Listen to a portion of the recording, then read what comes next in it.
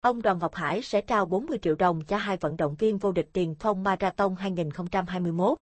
Chia sẻ trước giải vô địch quốc gia Marathon và cự ly dài, tiền phong Marathon 2021, ông Đoàn Ngọc Hải cho biết sẽ trao 40 triệu đồng cho vận động viên nam và nữ về nhất chặng 42 km.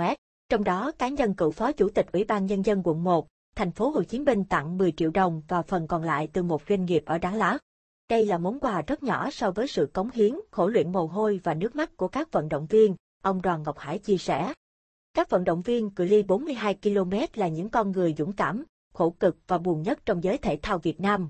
Lương và thưởng chẳng thấm thấp gì, sau 10 năm với nghề họ về với gia đình gần như chỉ hai bàn tay trắng. Họ đến với marathon vì đam mê và danh dự. Bên cạnh số tiền 40 triệu đồng này, ông Đoàn Ngọc Hải cũng rao bán áo đấu đội tuyển Việt Nam có chữ ký của các ngôi sao với giá 60 triệu đồng để tặng thưởng cho các vận động viên. Ông Đoàn Ngọc Hải cũng tham dự tiền phong Marathon 2021 ở nội dung 42 km. Đây là giải vô địch quốc gia, cơ sở để tuyển chọn vận động viên tham dự SEA Games 31 và có gần 5.000 vận động viên cả phong trào lẫn chuyên nghiệp tham dự, diễn ra từ ngày 26 tháng 3 đến ngày 28 tháng 3 tại Pleiku, Gia Lai. Cựu phó chủ tịch quận 1 thành phố Hồ Chí Minh tham gia nhiều sự kiện marathon và chinh phục được cự ly 42 km. Gần nhất, ông hoàn thành chặng marathon ở Quảng Bình với vị trí thứ 54 trong số 127 vận động viên tham dự.